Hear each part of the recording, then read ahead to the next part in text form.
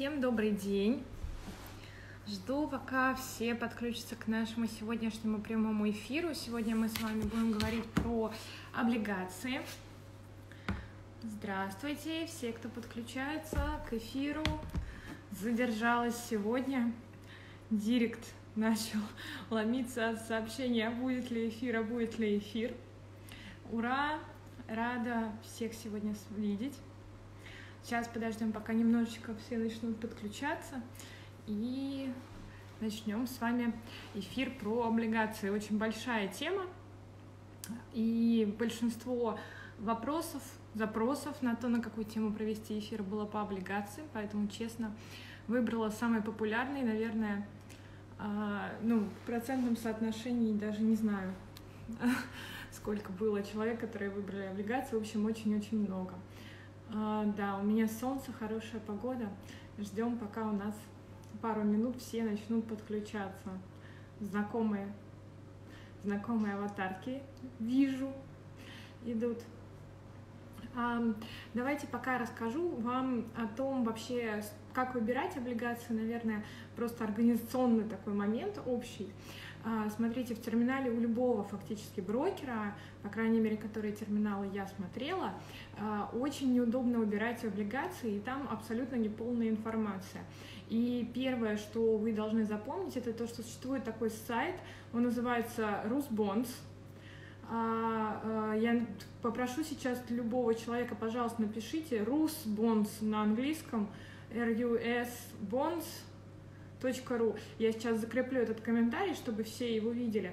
В общем, а, этот сайт, он бесплатный, и в нем самая полная база данных по всем облигациям.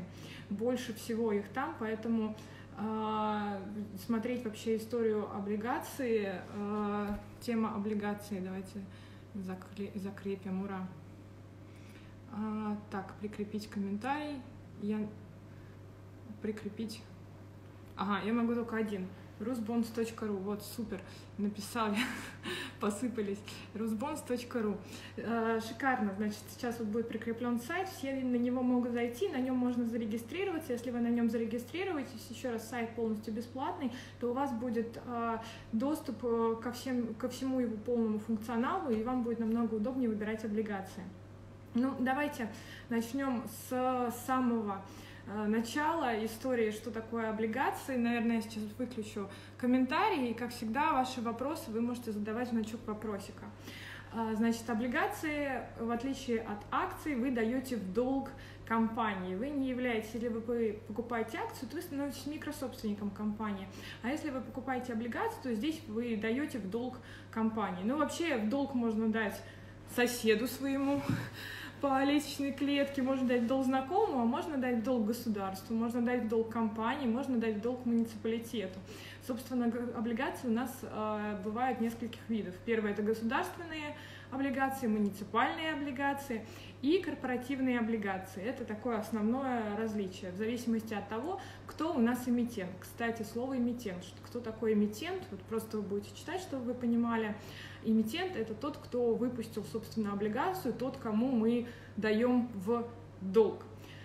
Давайте от того, что вообще, откуда взялись облигации, как э, они, почему у них цена растет, и вообще вот просто такой общий экскурс в облигации с вами совершим. Но смотрите, вот э, очень важный момент по облигациям – это ставка ЦБ. Что такое ставка ЦБ? Много раз об этом рассказывал, но давайте для всех, кто э, пропускал, может быть, и не читал мои посты. Ставка Центробанка – это та ставка, по которой банки берут деньги в кредит у Центробанка, и, соответственно, дальше банки э, кредитуют население или же они кредитуют компании. Да? То есть мы напрямую ЦБ не можем взять э, деньги, не можем взять кредит, но мы можем взять у банка. ЦБ кредитует банки, банки кредитуют население и компании.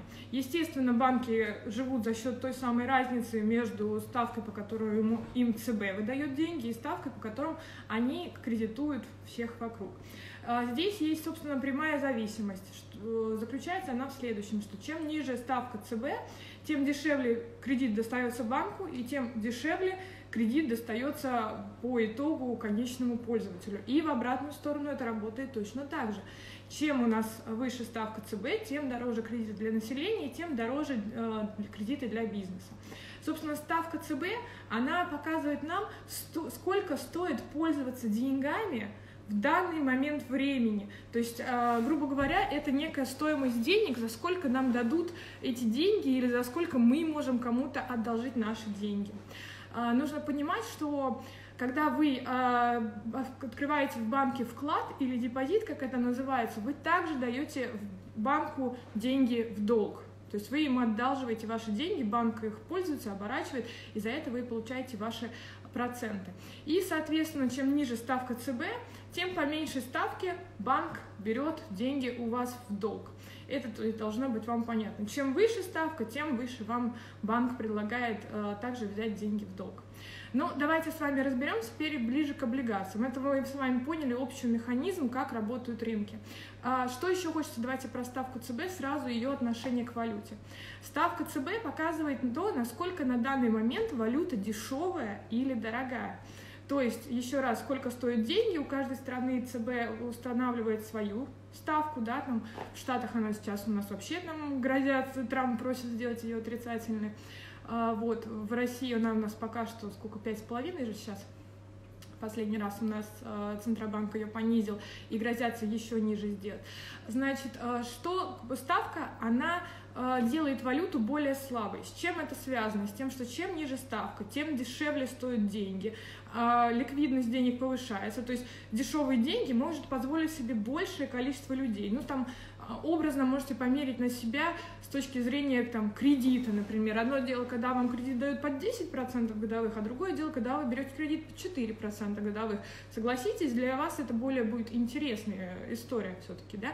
И то же самое для бизнеса. То есть чем дешевле деньги, тем больше людей их могут взять, тем больше бизнесов могут их взять. Увеличивается в общем и целом ликвидность рынка, увеличивается оборот рынка. И, конечно же, это также, во-первых, понижает, э, говорят, мягкая монетарная поли, э, политика, да, э, это в общем и целом Э, увеличивает спрос на рынке, и это разгоняет инфляцию, потому что теперь большее количество людей может позволить себе больше купить на эти деньги, да, то есть еще раз важный момент, что когда у нас ставочка понижается, это в перспективе может привести к э, разгону и увеличению инфляции, поэтому ставка Центробанка это еще и такой способ регуляции инфляции и как бы подкручивания таких Э, болтиков и винтиков в экономической системе в общем и целом. Значит, э, когда мы повышаем ставку, деньги становятся дороже, экономики становятся сложнее, они, деньги становятся менее ликвидными, они меньше циркулируют в экономике, и как следствие это как бы влияет, тоже имеет свое влияние на рынке. Как вы можете сейчас заметить, я думаю, что вы все следите за новостями, все э, в сегодняшнем кризисе, корона-кризисе, о кризисе еще рано говорить, да, мы говорим, что это рецессия, сейчас у нас экономика вступила в рецессию, а не в кризис, но в общем и целом назовем это все э, кризисной ситуацией.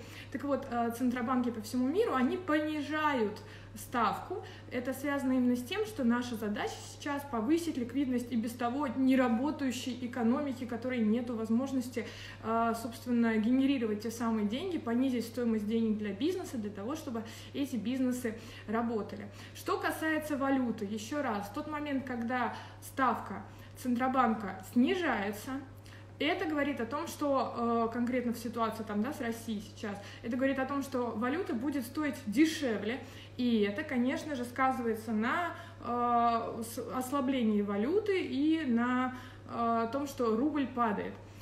То же самое и с долларом, и со всеми валютами. Сейчас была достаточно интересная ситуация, вот конкретно в прошлый, последний раз, когда Центробанк понижал ставку, мы не ощутили очень сильного э, поднятия курса, увеличения курса, то есть не было какого-то большого скачка вверх, потому что, э, собственно, все валюты по всему миру сейчас дешевеют в связи с тем, что все э, центральные банки по всему миру, они все снижают эту самую ставку. И мы пошли вслед за ними, одними там, грубо говоря, даже из последних начали эту ставку понижать. И на данный момент речь идет о том, что будет еще эта ставка понижаться.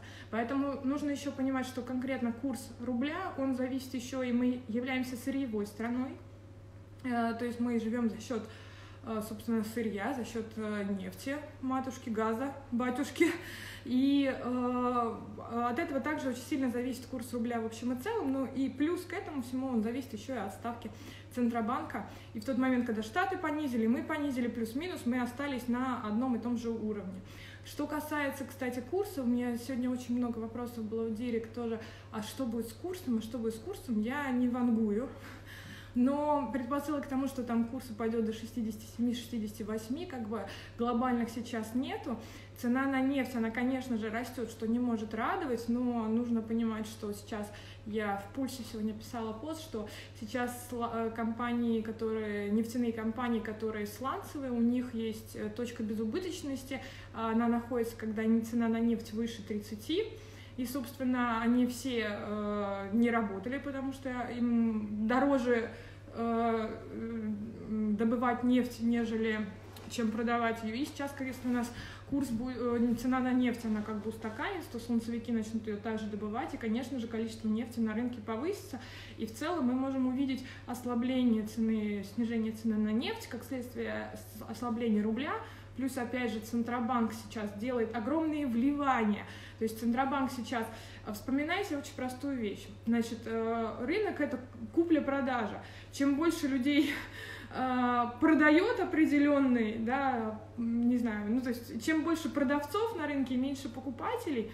тем, собственно, рынок падает. Когда у нас покупателей становится много, они как бы толкают цену вверх, э, быки те самые, рогами своими, цена поднимается. Так вот, когда у нас сейчас Центробанк продает доллар и покупает рубль, он искусственно поддерживает рубль. И нужно понимать, что сейчас, когда будет укрепление цены на нефть, как только, да, вот оно произойдет, э, я не помню, там у нас по наша нефть это Уралс, и я не помню на какой э, именно цифре а, Центробанк до, э, пока наша нефть не будет стоить, он будет, собственно, совершать эти валютные операции. Но когда она повысится, Центробанк перестанет поддерживать рубль, что, собственно, также скажется на том, что цена на рубль будет падать. Поэтому, в общем, и в целом ситуация интересная, как всегда, предсказать ее невозможно, что с ней будет, но теперь вы будете понимать, да, примерно, как, что сказывается на курсе и как ставка влияет на курс. То есть мы сейчас понимаем, что, а,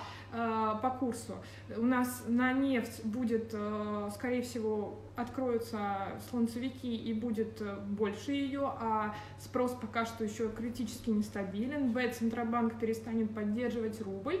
С. У нас есть новости о том, что ставка ЦБ будет понижаться. Понижение ставки, еще раз, ну, чтобы все это запомнили, ослабляет валюту. Повышение ставки укрепляет валюту. Очень интересная история, я вам советую посмотреть сейчас, записать себе это где-то, посмотреть историю 2014 года, когда у нас ставка ЦБ взлетела не помню, 14, 17, а какая-то такая была цифра, в моменте Центробанк поднял ставку, когда у нас там рубль начал уходить уже в какие-то э, космические на тот момент э, цены, то есть цена за доллар была критически большая, там уже 80, да, мы видели и так далее, и вот тогда Центробанк повысил ставку, и тем самым он, конечно же, укрепил рубль. Но в тот же момент он повысил ставку и ухудшил ситуацию для нашей экономики, ухудшил ситуацию для страны в целом, потому что деньги стали менее ликвидными. Отлично. С этим совсем мы разобрались. Теперь как все это влияет на облигации. Мы разобрали, что ставка ЦБ это та ставка, по которой эм, компания, государство и так далее могут взять в кредит. Облигация это то же самое, они могут взять в долг, и вот мы даем в долг. Соответственно, а, у облигаций есть номинал, он обычно равен тысяче, но это не всегда. А, бывают разные истории, нужно здесь обязательно смотреть, чтобы вы не удивились, там и 700 рублей встречается номинал. А, то есть, смотрите, номинал может быть разный. И эм, Значит, у облигации есть еще также купон. Купон – это некий процент от номинала. Очень важно не путать номинал и рыночную цену облигации. Если вы у себя сейчас в голове это все устаканите на 100%, вы уже будете молодцы, потому что на самом деле, мне кажется, что процентов 90 путают понятие рыночной цены облигации и ее номинала. Так вот, купон – это некий процент, который вам платит эмитент, то есть тот, кто выпустил облигацию, тот, кому вы даете деньги в долг, вы можете это сравнить с тем же самым банком. Ну, то есть вот банк берет у вас деньги в долг и платит вам некий купон, ставку по вашему вкладу. Вот то же самое происходит и здесь. Этот купон, он платится от цены номинала. Облигации бывают с разными видами купонов, мы сейчас об этом поговорим, а, но что здесь важно? А, купон – это процентная ставка по новым выпускам, которые происходят. Она напрямую зависит от того, какая ставка ЦБ на данный момент есть на рынке. Ну, для простого примера, а, значит, допустим, у нас ставка ЦБ 7%, и облигации там выходят с купоном 8%. То есть, потому что в общем и целом стоимость денег 7%, и еще там есть какой-то процент, нам накидывают, грубо говоря, за риски эмитенты и так далее, да, то есть вот э, есть некие повышение. И мы купили такую облигацию с таким купоном 8%. Значит, чудесно провели с ней полгода. Тут Центробанк говорит, а все, теперь у нас ставка 4% по, если у вас э, купон, он, он фиксированный, то, э, который э, у вас уже, собственно, есть на данный момент, те 8%, то ваша облигация, она растет в цене, потому что новые облигации, которые будут выпускаться теперь, они будут выпускаться с меньшим купоном, меньшим процентом. Почему? Потому что ЦБ понизил ставку, и теперь деньги можно взять под меньшие проценты. То есть это то, как работает цена. И как следствие, старые выпуски, которые у нас были до того, как ЦБ повысил э, ставку, они будут в цене выше, а новые выпуски, которые у нас произошли после того, как э, ЦБ понизил ставку, они будут по цене ниже, они будут торговать, скорее всего, по номиналу. Это такой момент. Очень важно смотреть за тем, какой купон у облигаций, и вы этого никогда не сможете понять по терминалу брокера. Вообще есть четыре типа купона по облигациям, и я про них э, написала пост, э, и есть у меня в телеграм-канале примеры.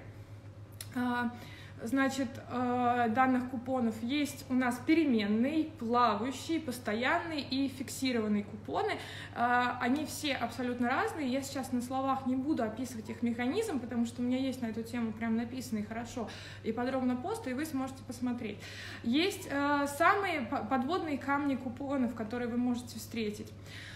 А, это купон, который зависит от ставки, от, который зависит от какой-то ставки. Купон может зависеть от ставки Руония, а, можете загуглить, что такое ставка Руония, она напрямую привязана к ставке ЦБ. И облигации, с, э, например, ОФЗ с э, кодом 29, у которых начинается, они, по-моему, почти все зависят от ставки Руония. То есть это вы можете себе просто запомнить такой момент. А, соответственно, это, э, этот купон, он будет напрямую зависеть от ставки Центробанка, и если у вас есть фиксированный купон, то вы можете сейчас, когда, например, вы в 2014 году, когда Центробанк повысил ставку, взяли бы какую-то очень надежную, классную, долгую облигацию, то вы могли бы себе зафиксировать там купонную доходность на уровне 14%, и это было бы вообще здорово, да, и вот жить бы с ней. А, если там были такие выпуски с такой доходностью, нужно посмотреть. А это вот если у вас постоянный. А если вы берете облигацию, которая э, с нефиксированным, с э, переменным купоном, плавающим купоном, то здесь нужно смотреть, от чего будет зависеть э, данная Э, купон по данной облигации. И вот конкретно со ставкой Руони, то есть вы не, не знаете наверняка, какой у вас будет следующий купон. Здесь вы можете как выиграть, так и проиграть. Например, сейчас ЦБ понизит ставку, и у вас купонная доходность, собственно, понизится. Потом ЦБ повысит ставку, и облигации, которые зависят от э, данной данной ставки, они будут, собственно, у вас получать большую купонную доходность. То есть э, у вас есть несколько уже стратегий, вы можете себе сейчас представить. Вы можете покупать облигацию там на долгую достаточно с какой-то фиксированной купонной доходностью и э, гарантированно получать там 7, 6, 8 процентов по этой облигации в зависимости от ситуации, либо вы можете получать рыночную доходность, там, когда вы будете покупать облигации став короне. Что еще важно сказать э, про облигации. У облигаций и бывает амортизация, и не все понимают, что это такое, и не все к этому готовы. Смотрите, самое простое, как понять, что такое амортизация. Мы можем с вами договориться о двух разных условиях, потому как вот э, я вам дам деньги, я буду давать вам в долг давать сегодня. Значит, первый вариант. Я даю вам в долг на 10 лет 1000 рублей, и вы каждый месяц, э, каждый год мне платите 8% на протяжении этих 10 лет, а через 10 лет вы мне отдаете эту тысячу рублей. Это первый вариант. Второй вариант, который есть, это я вам даю в долг тысячу рублей на 10 лет, вы мне платите э, по 8%, но при этом еще и каждый год отдаете мне часть тела основного моего долга, номинала той самой облигации. Э, то есть первый год вы мне заплатите с тысячи процентов, э, с тысячи рублей процент, во второй год вы мне отдадите 100 рублей и заплатите уже проценты с 900 Э, рублей. В третий год вы мне дадите еще 100 рублей и заплатите с 800. То есть каждый год у вас будет э, процент понижаться, у вас будет тело долго понижаться, и как следствие купоны по таким облигациям тоже будут понижаться. Чтобы эмитентов, которые вот так вот каждый год делают амортизацию, наверное, я не видела особо, но там примерно, например, э, облигацию, у нее может быть амортизация через два года 250 рублей, там, или 200 рублей, или 300, или, может быть, эти амортизации, они могут быть абсолютно как удобно, они могут там через 5 лет 500 рублей, то есть э, здесь нужно смотреть непосредственно на эту информацию, и опять же, она не, далеко не у всех брокеров, это указано, как именно будет идти амортизация, а это очень сильно может повлиять на вашу стратегию, потому что, а, с одной стороны, если вы вкладываете вкладываете в облигацию, наверное, тысячу рублей, вам это будет не очень-то принципиально, а если у вас в данном выпуске вложено 100 тысяч рублей, то вам, наверное, будет принципиально, с какой, э, и вы планируете эти деньги реинвестировать, то есть вы себе уже построили вашу стратегию, что эти денежки вы будете дальше реинвестировать, вам уже, конечно же, будет, э, у вас будет э, значение то, с какой суммы вам будут платить этот долг. Для чего эмитенты делают амортизацию? Ну, смотрите, чужие деньги, они же имеют стоимость, Поэтому, например, сейчас вот э, мне нужно э, привлечь э, миллион рублей для того, чтобы я сделала какой-то проект. И я этот миллион впущу, собственно, вот в данный момент в этот проект. Через год я уже надеюсь начать получать прибыль с этого проекта, там какую-то, никакую, не знаю, или через пять лет. И я смогу вернуть часть долга вам, чтобы не переплачивать. То есть э, это первый момент, эмитент таким образом привлекает нужную ему сумму сейчас и имеет возможность, э, собственно, через какое-то время вернуть часть вам долга и платить с, больше, с более, с меньшего тела долга вам процента.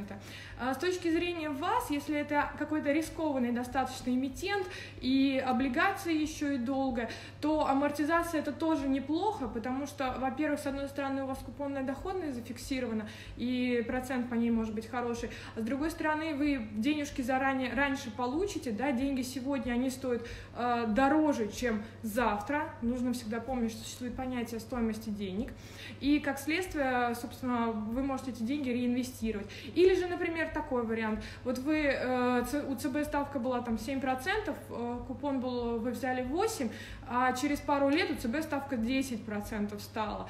И, соответственно, новые выпуски с большей э, доходностью могут быть. И здесь уже вам тоже интересно, что у вас сейчас подойдет срок амортизации, вам часть денег погасится с тех облигаций, по которым у вас было 8%, и вы сможете их реинвестировать под больший купон, под большую доходность. То есть здесь тоже есть еще один тип стратегии, если это амортизация. Э, еще очень важная штука это, извините, а, call, а, call и put опцион, которые встречаются, и здесь попадают очень сильно на облигациях очень многие.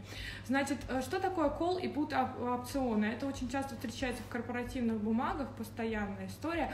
Значит, э, я вам дала деньги в долг и договариваюсь с вами, что через два года я могу вернуть вам мой долг и погасить его. Это колл-опцион. При этом я это могу сделать без вашего на то согласия.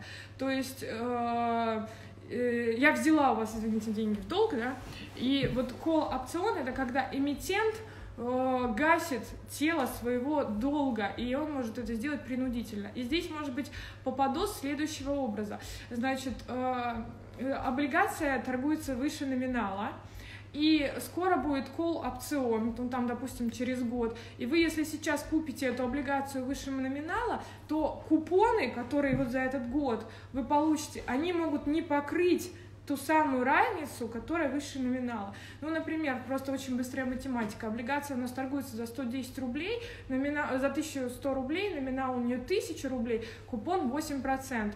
То есть за год вы получите 80 рублей, а кол опцион через год, а заплатили вы за нее 100, 1100. То есть вам нужно успеть э, до кол опциона вот это вот 100 рублей, которые вы заплатили сверх номинала, вам нужно успеть их окупить.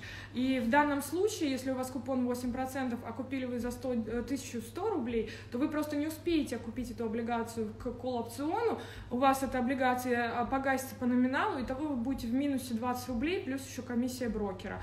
Вот здесь очень нужно быть внимательным. И есть второй вариант, это put опцион. Это когда вы можете, то есть компания пишет, что через э, два года будет э, put опцион, и вы можете погасить данную облигацию, э, запрос сделать Э, через брокера этот запрос делается, и вы можете погасить эту облигацию по ее номиналу. То есть здесь уже ваше право. Можете гасить, можете не гасить, можете дальше держать. Тоже интересная вещь с такими спут-опционами. Опять же, э, э, опять же, кол и пут оферта еще это называется. Вот. Опять же, это интересно с точки зрения того, что если вдруг у нас появляются облигации с большей доходностью на рынке, да, и у вас скоро Э, пут э, оферта, то вы сможете погасить данную облигацию. Собственно, это очень-очень даже классно для вас э, будет. Вот, это я так вам коротко, очень коротко рассказала основные моменты. Сейчас я, наверное, включу комментарии и поотвечаю на ваши э, вопросы. Ну, по облигациям тема очень большая. Есть еще понятие дюрации, модифицированной дюрации. А, модифицированная дюрация — это то, насколько мы с вами уже поняли, что цена облигации, она у нас меняется в зависимости от э, ставки ЦБ. И вот э, модифицированная дюрация показывает то, насколько данная э, облигация чувствительна к изменению цены.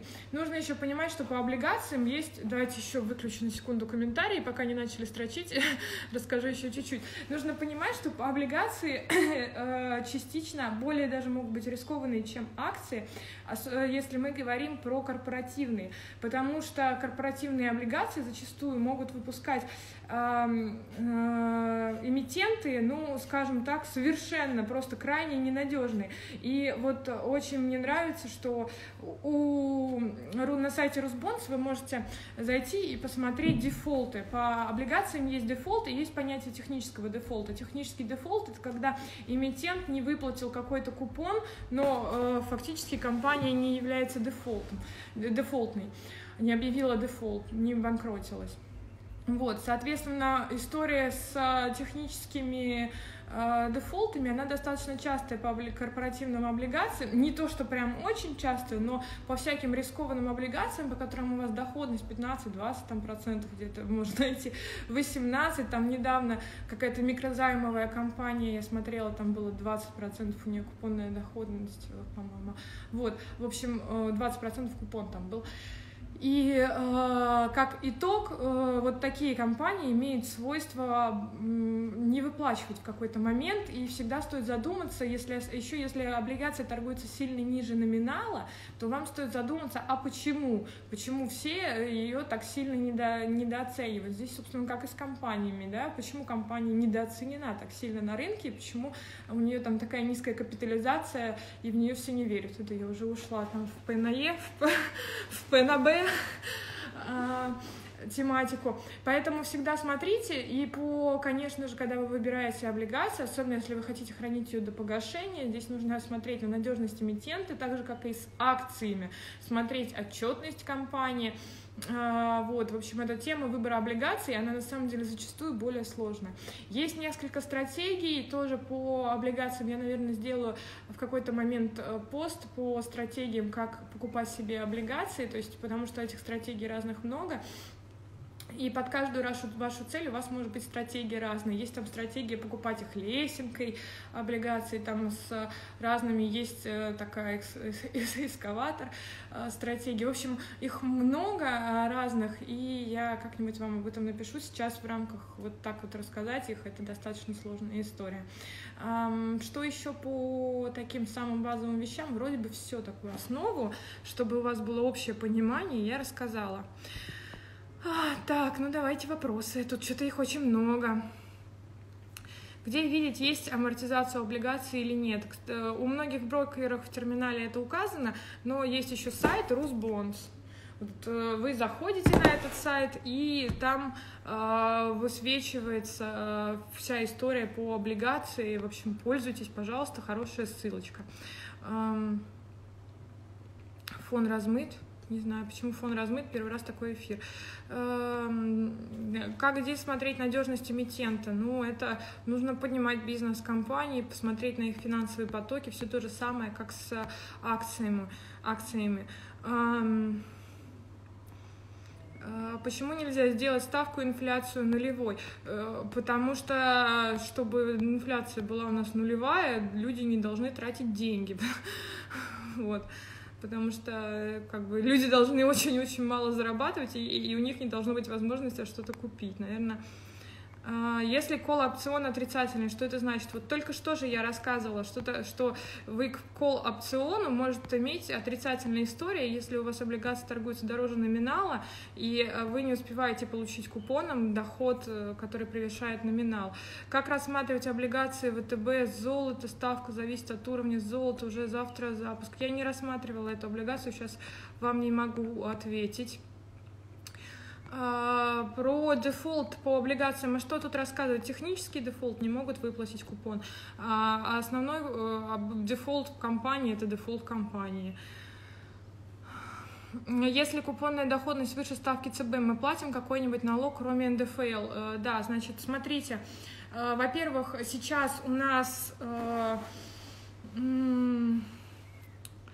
Значит, э, сейчас у нас э, ставка ЦБ 5,5%, и до конца 2020 э, года мы не платим налог по купону, если купон не превышает 6%, если купон не выше 6% от ставки. То есть сейчас вот у меня несколько облигаций, по ним получается купон 11%, и я уже заплатила там по, нему, по ним или 5% выше, я сейчас что-то забыла. То есть ставка ЦБ плюс 5% без налога, да, 5. Вот у меня купон 11% по некоторым облигациям, по ним пришел э, налог, соответственно, есть на ту сумму, которая превышает вот это 5, э, ставка ЦБ плюс 5. 5%. Да, спасибо большое, 5. А, вот, по ним есть налог. Второй момент, что нужно помнить, это то, что с 2021 года у нас будет вводиться налог на купоны. А, вот. Эм, так, поехали дальше, сохранить эфир. А, на ETF фонды, облигации ставка ЦБ тоже влияет, конечно.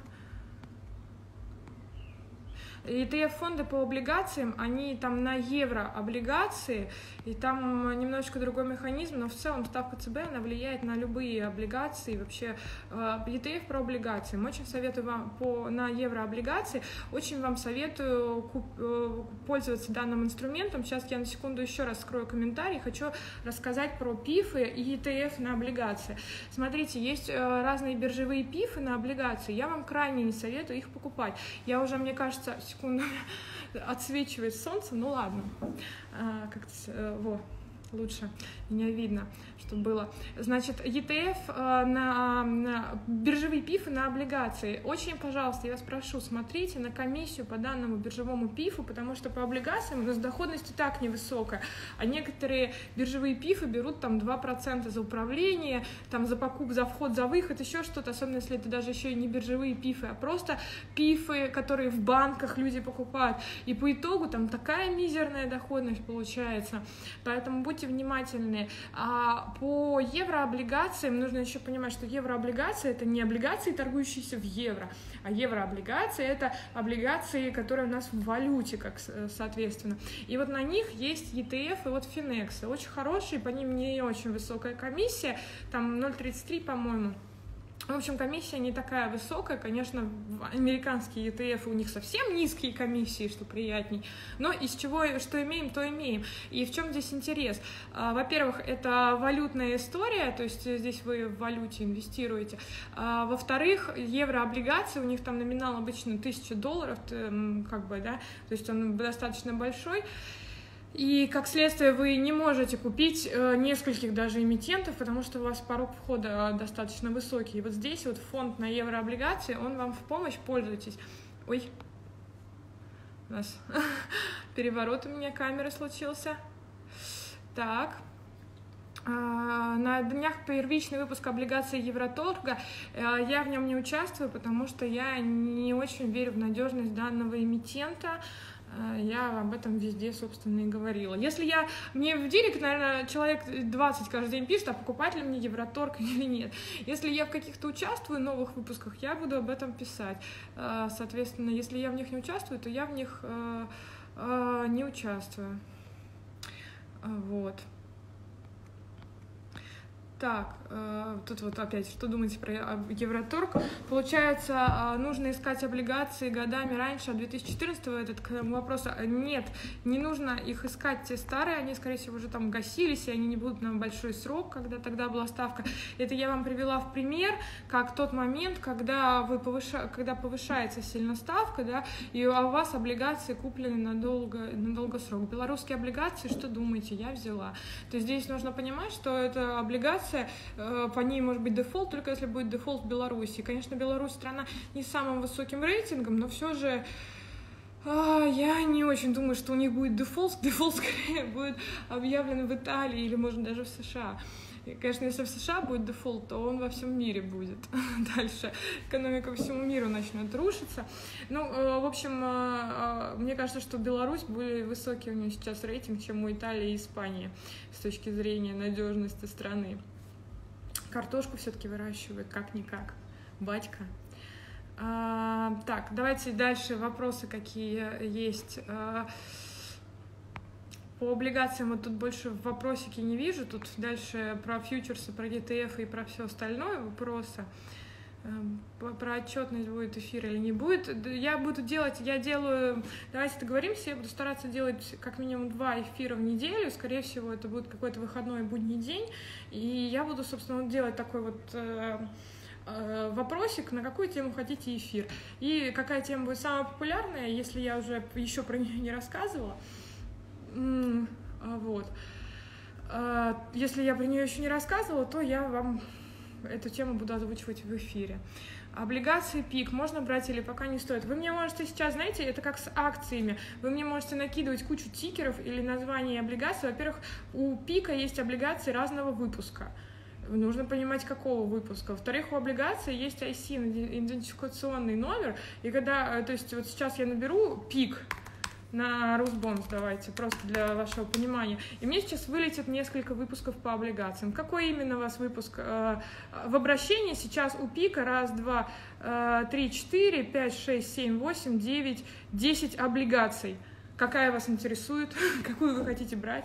Пожалуйста, вот, вот это вот э, накидывание мне разных тикеров и разных названий облигаций, это как бы абсолютно бесполезно, потому что я не изучаю все компании на рынке, а те, которых я изучаю, я о них стараюсь писать. Если облигация продаешь до выплаты купонного процента, НКД не получишь, нет, вы получаете. Чем классная облигация, в отличие от того же самого вклада? А, если вы вклад досрочно погасите, то вы получите там, доходность меньше. А по облигациям есть понятие НКД, накопленный купонный доход. Вот вы продержали облигацию, у вас, э, например, облигация там раз в три месяца у вас купон, допустим, и э, за три месяца вы должны получить 90 рублей, по рублю в день. Очень очень грубо считаем. И вот каждый день, который вы держите облигацию, у вас 1 а, рубль вам положен. Продержали 2 дня, у вас НКД 2 рубля. Продержали 50 дней, 50 рублей. Соответственно, человек, который дальше у вас выкупает эту облигацию, он платит вам цену облигации рыночную и НКД. А уже он получает этот НКД вместе с основным купоном. То есть э, здесь очень хорошо, что в отличие от тех же самых акций, если вы ее не держали до дивидендов, вам никто не скажет, а, ну ты же держал ее там 90 э, дней, поэтому вот тебе кусочек дивидендов. А с облигациями здесь вот такая история, что у вас есть понятие НКД. Берша Хайтвей целесообразно покупать сейчас. Я сегодня, кстати, прикупила. Um,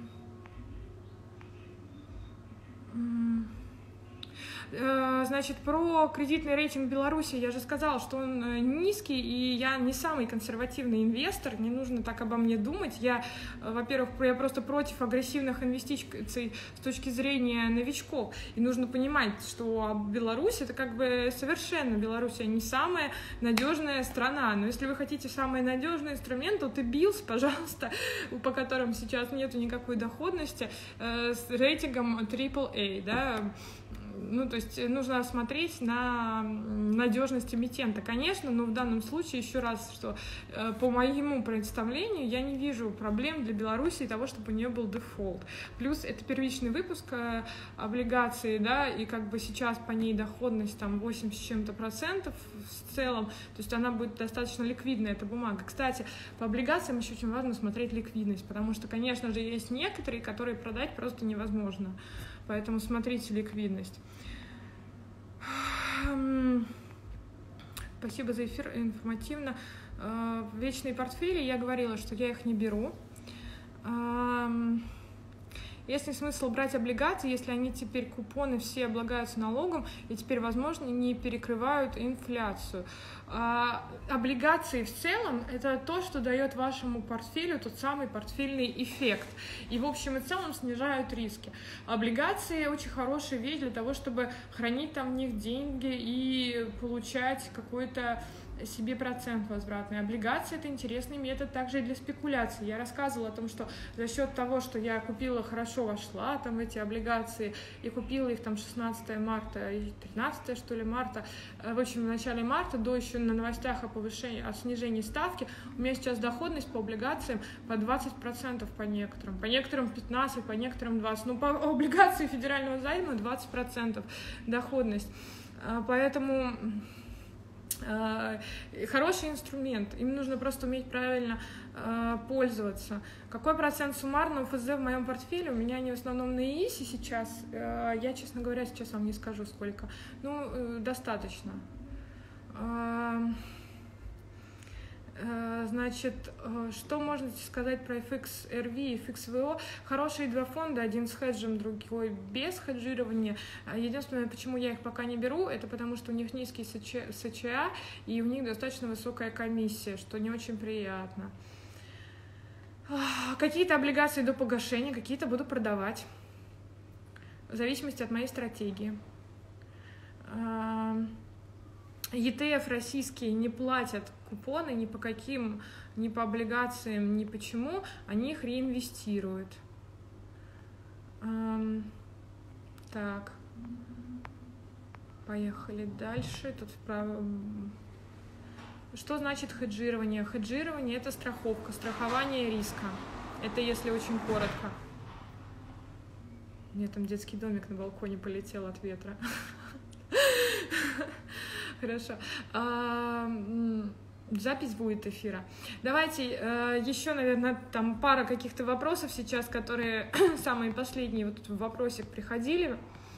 И э, будем с вами заканчивать э, эфир. Давайте, как, как обычно, в завершении эфира отвечаю на три вопроса, которые сейчас самые первые прилетят в эфир. Как определить ликвидность облигаций? Первый э, вопрос. Э, значит, э, можно посмотреть стакан, и в стакане вы сможете понять, насколько ликвидна данная облигация. Можно посмотреть объем торгов по данной облигации. По-моему, на сайте Росбонс есть информация про объем торгов. А, вот. Еврооблигации «Газпром» на 9 лет не изучала, не знаю. Почему при снижении ставки не сильно снижается ипотека? Здесь я затрудняюсь ответить. Я э, вот мало, как бы, что могу вам сказать конкретно по ипотеке, вообще в общем и целом. Э, вообще она снижается, и вы можете ее как бы еще и, как это называется, забыла, рефинанс... Э, рекреди... что там, рекредита. Извините, мне что-то сегодня с русским языком. А... Так, что будет для э, компании, если она допустила технический дефолт по облигации? Ну, ничего не будет, это ваши риски. Смотреть, э, какой вид купона можно в терминале у брокера, если там это вам показывается, а если нет, то э, выпуск облигаций пишите номер на сайте Росбонс и смотрите. Вот э, так, поехали дальше. Рефинансирование кредита, спасибо. Рефинансирование, рефинансирование, да, рефинансировать, перекредитовываться.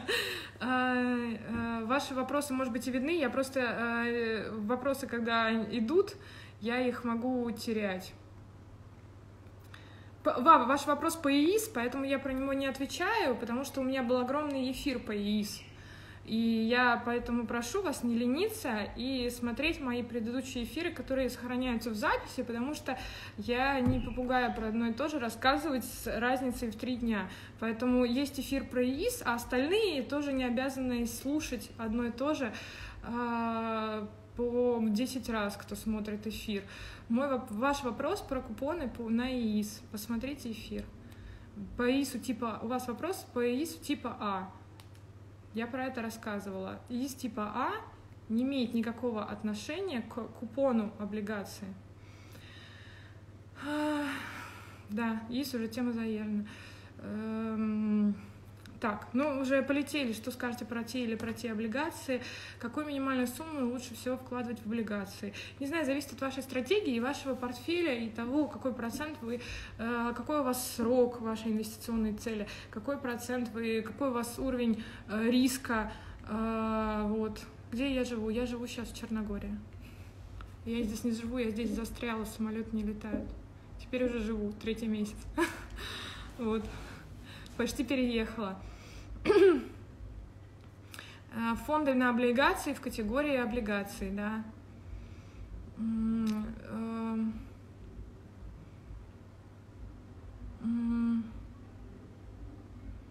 Э, значит, еще про маркетмейкеры и ликвидность облигаций. Еще раз рассказываю. По облигациям очень часто бывают абсолютно неликвидные бумаги, которые за неделю, там, не знаю, торгуются их 200 э, штук. Э, тысячи там штук, не знаю, как бы очень маленькие. Если вы посмотрите ликвидность УФЗ, то там они э, крайне высокая ликвидность. А если вы посмотрите ликвидность там по каким-то э, по каким-то корпоративным историям, то здесь уже может быть много проблем вот, э, в плане ликвидности. Поэтому нужно смотреть объем торгов по, данной, по каждой конкретной бумаге. Это, кстати, к акциям относится, потому что на бирже огромное количество. Я вот на курсе ребятам своим показывала стаканы, которые абсолютно не ликвидные. А, это прям отдельная такая тема про стаканы, которые не ликвидные, ну, то есть бумаги, которые не ликвидные. Тут можно очень хорошо попасть, если у вас большой объем лота, например. А, вот. Ликвидность, еще раз смотрите стакан. Как минимум в стакане вы можете понять, если у вас э, 10 заявок на покупку и продажу всего, и они там стоят еще со спредом большим в стакане, то вы поймете, что данная бумага не ликвидная. Это просто самый базовый смысл, э, смысл смотреть. Бессрочная облигация, в чем их смысл? О, это вообще очень опасная штука, бессрочные облигации. Э, у ВТБ, по-моему, уже есть бессрочная облигация. Я как бы вам вообще... Вот это очень опасная история, бессрочная облигация.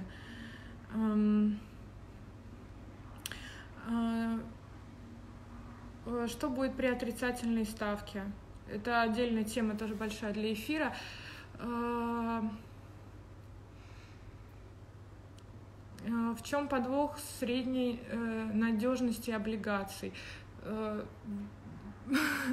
Что такое средняя надежность облигаций? Виды купонов вы можете посмотреть на сайте Росбонс. Друзья, я предлагаю заканчивать эфир, потому что вопросы уже идут одни и те же. Э, я уже на них много раз отвечала, значит, я сейчас выключу комментарии, чтобы э, просто коротенько еще раз вам сказать, на что вы должны обращать внимание при облигации. То есть в общем и целом. Первое, что мы смотрим, это вид купона, потому что бывают у нас, мы выяснили, что бывают четыре типа, и с ними можно попасть. Второе, обязательно смотрим наличие амортизации. Кол, пут, оферта. Об этом мы тоже обсудили, что это нужно обязательно посмотреть. Надежность эмитента, риск эмитента. Помним о том, что цена рыночной на облигации зависит от ставки ЦБ и, конечно же, еще и от уровня риска эмитента. Например, если по, облига... по какому-то, там, не знаю, по какой-то компании выходит э, какая-то очень плохая новость, то, естественно, люди и облигации ее также будут продавать. Это тоже нужно понимать, что здесь есть определенный уровень риска. Помним про налоги и о том, что с 2021 года они у нас будут введены. По крайней мере, Владимир Владимирович нам это обещал. И помним о том, что по э, облигациям можно также даже спекулировать, даже на тех же самых УФЗ. Я вам привела пример с моей доходностью по облигациям. Ну, тема облигаций, она огромная. Я вам не успела еще рассказать там о дюрации, о стратегиях по облигации. На эту тему нужно прям огромное, огромное время отдельно выделять. Вот, ну и ETF на облигации и биржевые пифы на облигации смотрим, конечно же, но помним, что по биржевым пифам можно попасть с комиссий, ETF а, на еврооблигации – это хороший инструмент. Ну и еврооблигации – это не облигации, которые у нас торгуются в евро, а это облигации, которые торгуются в валюте. Давайте с вами прощаться, наверное, на сегодня. Этот эфир постараюсь сохранить, и он, наверное, появится в ленте. Если вдруг вы где-то эфиры теряете, знаете, что они должны, они могут почему-то в Инстаграме пропадать из ленты, и э, потом появляются в Инстаграм ТВ, в IGTV, вот, поэтому, если вы вдруг в будущем не увидите какой-то эфир в ленту, заходите в Инстаграм ТВ. Вот. Ну и не забывайте обязательно лайкать мои посты, потому что это двигает их вверх, вроде как, мне так сказали. Вот. Спасибо вам еще раз. Э, я надеюсь, что эфир вам был полезный. И извините меня, конечно, что я сегодня опоздала в эфир. Я больше так не буду. Обещаю. Все. Всем пока-пока.